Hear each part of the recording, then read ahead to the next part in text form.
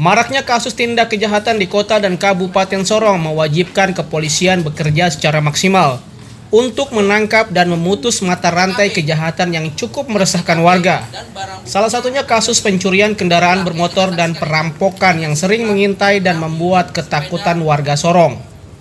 Dalam press release kepolisian Polres Sorong yang berhasil menangkap dan melumpuhkan salah satu pelaku kejahatan dengan timah panas mengungkapkan kepolisian tidak akan mentolerir dalam bentuk apa pun, terutama yang sudah dengan sengaja bertindak di luar batas kewajaran dengan melukai para korbannya menggunakan senjata tajam.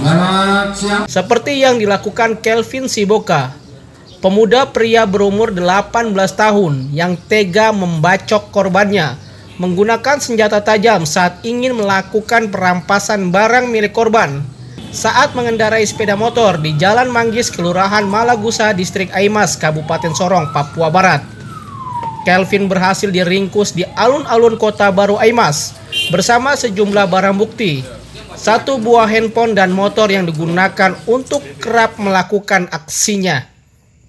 Kasus lainnya Julianus Chris Pemuda berumur 23 tahun dengan tato di sekujur tubuhnya dan merupakan residivis berhasil dilumpuhkan pihak kepolisian dengan timah panas yang bersarang di kakinya karena berusaha melawan aparat saat akan ditangkap.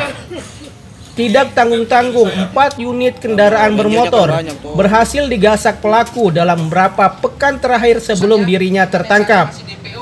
Menyikapi hal ini di akhir statement Kapolres Sorong AKBP Dewa Madesi dan Sutrakna melalui Kasat Reskrim Polres Sorong memerintahkan tembak di tempat bagi para pelaku begal yang melakukan aksinya di wilayah Kabupaten Sorong. Beroperasi di wilayah hukum Polres Sorong, saya nyatakan tembak di tempat. Saya nyatakan tembak di tempat. Itu pernyataan dari saya. Dari Kabupaten Sorong, tim liputan mengabarkan.